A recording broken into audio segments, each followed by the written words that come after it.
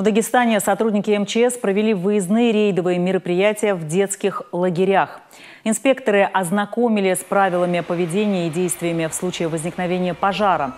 Затем было обследовано противопожарное состояние помещения, наличие и исправность средств пожаротушения, состояние системы пожарной сигнализации, наличие путей эвакуации и оповещения людей.